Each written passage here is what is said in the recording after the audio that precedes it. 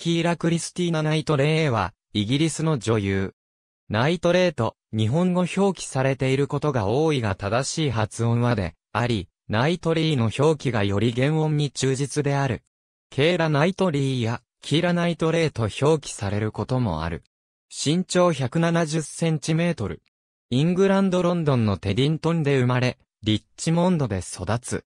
父親は、舞台役者のウィル・ナイトレイ母親は、ウェールズ人の血を引く、スコットランド人劇作家のシャーマン・マクドナルド。1978年生まれの2位、キャレブがいる。名前のキーラは、ゲール語で、黒い髪という意味であり、元の綴りは、キエラである。幼い頃から、役者志望であり、また両親だけに、エージェントがいることに不満を持ち、自分にもエージェントが欲しいと両親にせがんだ。6歳の時に、母親と学校が休みの時だけ演技の仕事をしてもいいわという約束をし、エージェントがつくようになる。キーラは学習障害の一つ、ディスレクシアのため、録音読書で学習したり、色付きメガネをかけて、文章の文字が混じって見えないように工夫し読書している。10代の時に、プロの助けを借りて克服した。償いのプレミアにて1993年に、テレビドラマ、バリー・キス・エンジェルでデビュー。1995年に、A ビレッジ・アフェアで映画初出演を果たす。1999年公開の、スター・ウォーズエピソード1、ファントム・メナスで、ナタリー・ポートマン演じるアミダラ女王の影武者役に、抜擢され注目を集める。2001年に放送されたテレビ映画、レジェンド・オブ・アローで、初主演を果たす。2002年に、ベッカムに恋して、がアメリカでヒットし、アメリカでの人気が急上昇する。そして、2003年公開のハリウッド大作、パイレーツ・オブ・カリビアン、呪われた海賊たちのヒロインエリザベス・スワン役に抜擢され、同作品も記録的大ヒットを記録して、17歳にして一気にハリウッドトップスターの仲間入りを果たした。この年のハロー誌や Entertainment Weekly 誌は有望な10代のスター、今年最もブレイクしたムービースターに選んだ。2005年には3本の主演映画が公開されるが、ジャケットとドミノは期待されたほどの興行収入、評価が得られなかった。しかし、ジェーン・オースティン原作のプライドと偏見では、主役のエリザベス役で、史上3番目の若さで、アカデミー主演女優賞にノミネートされ、映画芸術科学アカデミーの会員へ招待された。2007年は、プライドと偏見の監督ジョー・ライトと再びタッグを、組んだヤン・マキューアン原作の、償いで、ゴールデングローブ賞主演女優賞に、ノミネートされた。翌年公開の、ある公爵夫人の生涯では、デボンシャー公爵夫人を演じた。2009年12月に、モリエール作の現代版、人間嫌いで、舞台デビューし、ローレンス・オリビエ賞助演女優賞に、ノミネートされた。2018年6月にはこれまでの女優としての、キャリアとチャリティー活動が評価され、大英帝国勲章第4位 OBE を助軍した。パイレーツ・オブ・カリビアン、デッドマンズ・チェストのプレミアにて2003年から2年間、ユニリーバジャパンのラックススーパーリッチの CM に出演。2007年からは、シャネルの香水、ココマドモアゼルの広告等に起用されており、この CM で、ココシャネルを演じている。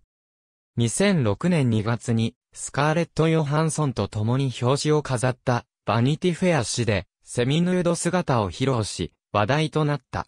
また、同年の FHM 誌では、世界で最もセクシーな女性100人の1位となった。2007年の最も稼ぐ25歳以下の有名人ランキングでは10位に最も稼いだハリウッド女優トップ10では7位にランクインした。チャリティー活動も積極的に行っており、2006年4月に自身がアカデミー賞で着用したヴェラ・ウォンのドレスをオークションにかけ、落札金を Oxfam を通じて東アフリカの救援活動に寄付した。また、 Amnesty International の人権を支持するキャンペーンの一環として、短編映画や2009年4月には、 Women's Aid による家庭内暴力反対の CM に出演。ハリウッドスター屈指のクラシックな美貌は、デビュー時から、ベイピープル誌などから注目され、絶世の美女とも呼ばれるなど、女性人気も高い。本人によると、バストサイズは10代から全く変わっておらず、現在でも当時のブラジャーを持っているほどである。そのため作品によっては胸を豊満に見せるために、色々工夫がされている。パイレーツシリーズでは、胸の谷間にハイライトを入れる、道着でウエストを締め上げて、胸を大きく見せている。エージェント、ライアンではパッドを入れて、胸を持っている。シャネルの広告に起用された時は、シャネル側から CG で胸に膨らみを出したいという申し出があり、許可した。また、キングアーサーでもポスターでは胸に膨らみがあるように CG 処理がなされている。映画でヌードになったことは何度もあり、初めて脱いだのは2001年公開の穴である。上半身ヌードには抵抗はないが、ボリュームがないという理由でお尻のヌードには抵抗があり、代役を使用している。2020年には男性視点で描かれることを理由に、男性監督の作品では、ヌードはやらないと発言した。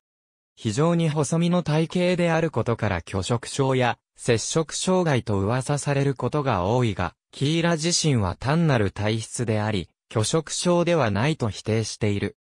2007年にデイリーメールが拒食症で死亡した少女の記事と一緒に、キーラの写真を掲載し、少女の死に責任があるように記事を書いたことを訴え、3000ポンドの賠償金を勝ち取り、接触障害のための基金に寄付した。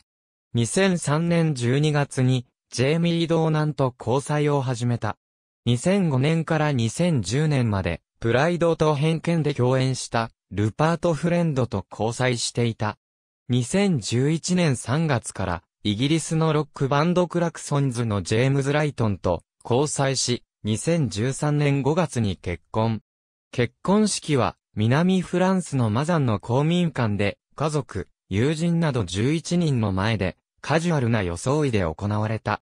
当時3歳の自身の娘に対して、シンデレラやリトルマーメイドといった男性に尽くす女性を描く古いディズニー映画を見せるのは禁止していると語っている。ウエストハムユナイテッドのサポーター。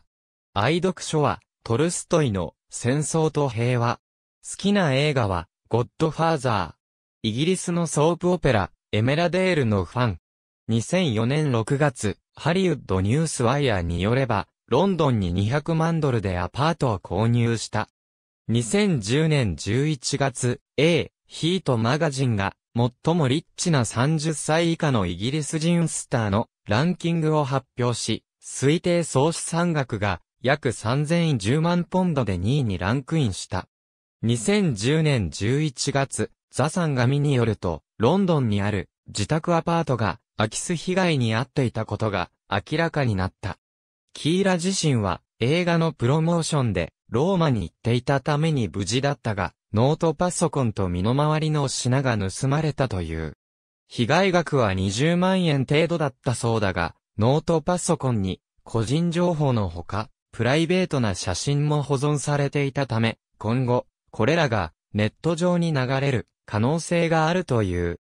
2011年5月、バンメディアインターナショナルによると、イギリスの30歳未満の億万長者リストが発表され、総資産3000万ポンドで10位にランクインしている。英国アカデミー賞にて、ありがとうございます。